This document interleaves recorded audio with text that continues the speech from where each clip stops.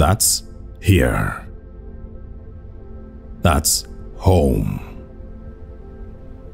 That's us.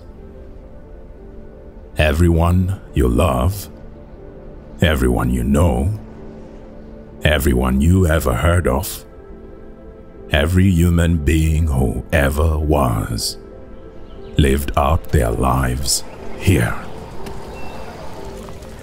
The aggregate of our joy and suffering, thousands of confident religions, ideologies, and economic doctrines, every hunter and forager, every hero and coward, every creator and destroyer of civilization, every king and peasant, every young couple in love, every mother and father, hopeful child, inventor, explorer, every teacher of morals, every corrupt politician, every superstar, every supreme leader, every saint and sinner in the history of our species lived here.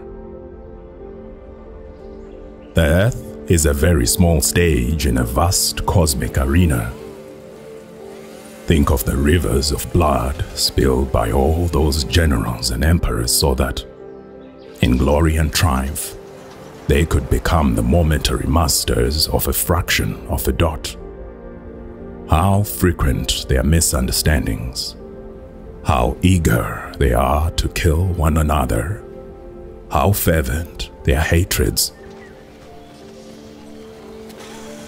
Our planet is a lonely speck in the great enveloping cosmic dark.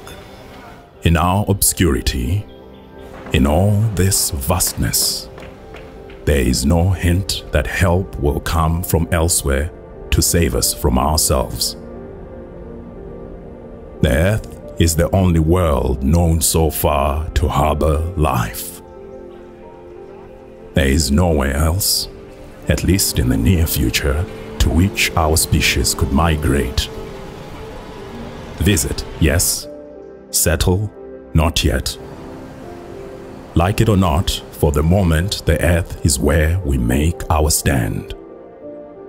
To me, it underscores our responsibility to deal more kindly with one another and to preserve and cherish the pale blue dot, the only home we've ever known.